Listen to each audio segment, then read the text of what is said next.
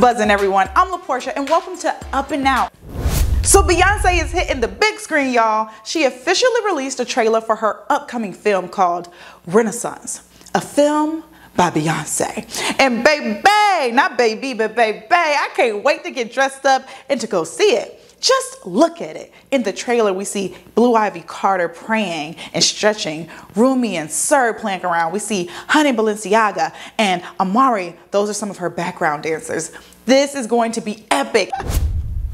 Now, before I left, I told you that Beyonce was out here increasing sales for small businesses on Etsy. Well, she just completed her last US show of the Renaissance World Tour on October 1st, so yesterday, and according to multiple credible sources, Beyonce has generated more than $4.5 billion for the US economy. Yes, I definitely said 4.5 billion. B generated billions for the economy as a whole. That's big, big, big B business. All right. As a matter of fact, it's Olympic business. What you mean, Porsche? You probably like, what you mean it's Olympic business? Well, she quite literally generated as much money for our economy as the 2008 Olympics did for Beijing. Speaking of Olympians, that make history. Well, you know we can't have that conversation without mentioning the one and only Simone Biles. Every time I mention my girl Simone, she's always doing something else that we've never seen before. And guess what? Today is no different. Because this past weekend, our girl Simone Biles became the first woman to land the Yurchenko double pike vault at an international competition. Now, this isn't Simone's first time landing this flip in a competition. She did it during the 2021 Classics, I believe. However, doing it at an international competition is when I when it really really counts for the history books. You know what I mean? Listen, I didn't know what that was, so I did some research and this is what I found. The Yurchenko part is when you do a round off onto the springboard and then a backflip off the vault. All right, I, I can't even do a cartwheel, y'all. I'm just gonna keep it real with you. And in Simone's case, she did two pike flips in the air, which means her legs stayed straight. Now, what makes this so dangerous is that if she doesn't flip her body around in time for the second flip, she can land on her neck. I mean, and literally it could be deadly injuries. Yes, that's how difficult this move is. And it's now called the Biles 2 because my girl also made history once. she is the only woman in history to land it. There's been a few male gymnasts that have landed it, but she, my girl, this woman continues to break barriers and I'm going to continue to cheer for her. Go girl. California Governor Gavin Newsom is appointing LaPhonza Butler to complete the Senate term of the late Dianne Feinstein. Listen, Butler is currently the president of Emily's List, which my guest will tell us more about. She is also the only black female senator in Congress right now. And just the third in U.S. history. Listen, y'all, we've got to do better, America. We really do. As you all know, Feinstein passed away last week at the age of 90.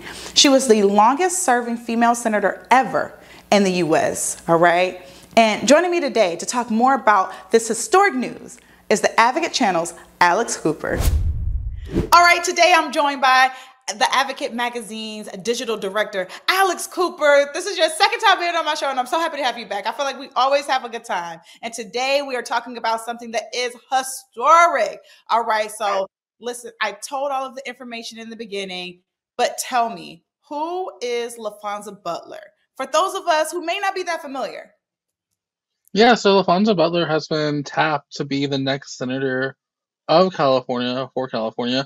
Um, she was tapped by Gavin Newsom to replace the um, the late Senator Dianne Feinstein, who passed away late last week.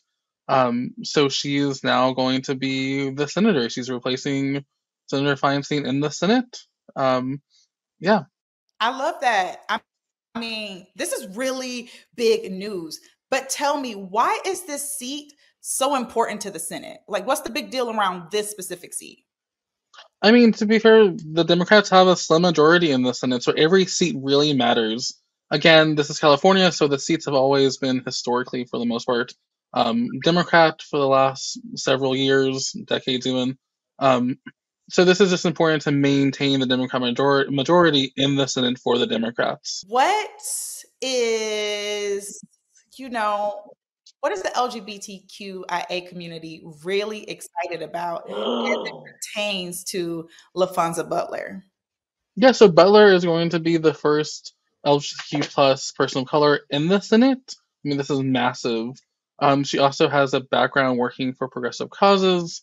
Um, Emily's List, for instance, works for Democratic candidates who are for abortion rights and abortion access.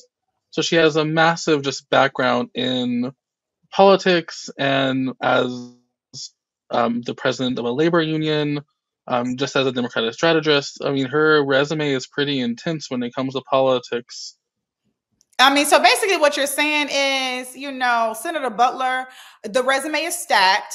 She is definitely yes. prepped and prepared for this Senate seat. You know, she deserves it. And like you said, she is the first black out black woman senate uh senator and, and i mean this is a really really big deal this is a big deal for the black community this is a big deal for the lgbt uh lgbtq plus community and I just really see great things happening here. You know, um, I hate I hate that it and Alex, I feel like you can agree. I hate that it takes so long we're still seeing so many firsts as it pertains to the LGBTQIA plus community and the African American community and the Hispanic community. And we want to really get to the point where we're seeing like 10ths, 11ths, 12s. We, we shouldn't still be on the first, but we're happy that, you know, we're at least breaking barrier, bar- barriers. Okay, now tell me, what happens to Barbara Lee's campaign?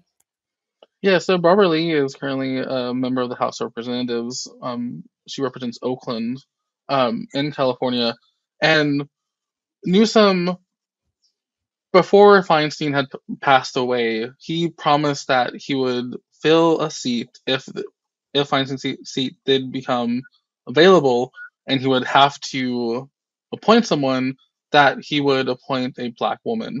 And yeah. many people thought that Barbara Lee should have been the choice.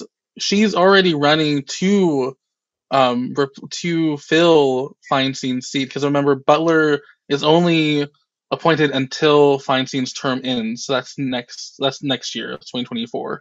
Um, okay. So the election, you know, there's you know a, a highly contested Senate race already happening.